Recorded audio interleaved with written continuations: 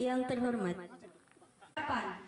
Kasdim 0824 Jember, Letkol Infanteri Herawadi Karnawan, didampingi Dinas Perikanan, Kajari dan Muspika Umbul Sari, serta undangan, melakukan telekonferen dengan Wapres RI dari Kampung Wanajaya, Bekasi, Jawa Barat.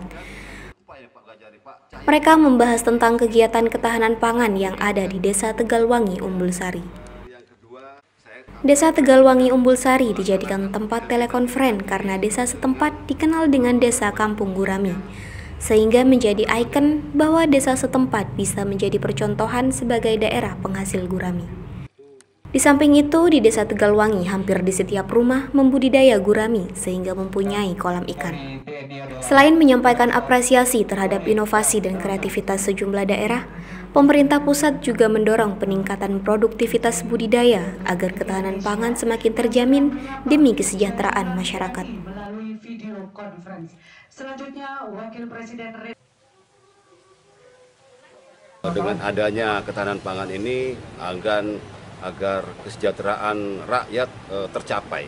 Nah, dalam hal ini untuk ketahanan pangannya ini baik yang berbentuk untuk penaburan bibit ikan, kemudian pertanian, kemudian e, perikanan sekali lagi dengan e, kemudian e, hortikultura. Nah, ini yang dari e, perintah dari e, satuan atas.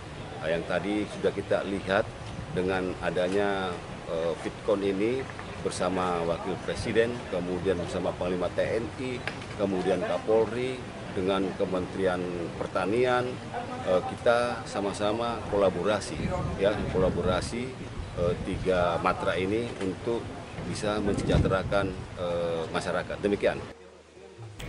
Petani gurami sekaligus pemilik Restovis Wiono mengaku memiliki 3 hektar kolam ikan yang dikelola berisi sekitar 500 ribu ekor. Satu tahun dapat dipanen dengan ukuran setengah kilogram Harga di tingkat petani saat ini berkisar Rp27.000 per kilogram, sedangkan idealnya adalah Rp32.000 per kilogram agar pembudidaya mendapatkan keuntungan yang diharapkan. Apalagi harga pakan pabrikan mahal sehingga warga terpaksa menambahkan pakan alternatif yaitu dedaunan seperti daun talas. Wiono berharap pemerintah hendaknya membuat atau mengadakan pelatihan tentang pembuatan pakan alternatif yang murah namun bergizi tinggi. Mulai tabur sampai panen rata-rata kalau nggak bermasalah satu tahun bisa dipanen rata-rata ukuran 0,5 jadi satu kilo si dua lah sudah siap dikonsumsi ya, ya Pak? sudah siap uh, untuk hal tersebut menghasilkan pakan berapa Pak? menghabiskan pakan berapa Pak?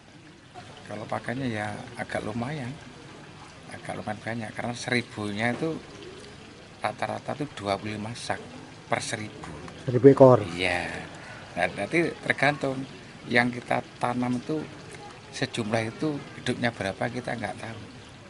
Tergantung pola makan. Kalau makannya itu banyak berarti ya ikan itu cukup. E, ada peta, berapa petani pak di sini? Jadi keluarnya petani sini agak lumayan hampir menyeluruh jadi petani pak di sini. Dari Tegalwangi Umbul Sari Sugito Jember satu TV melaporkan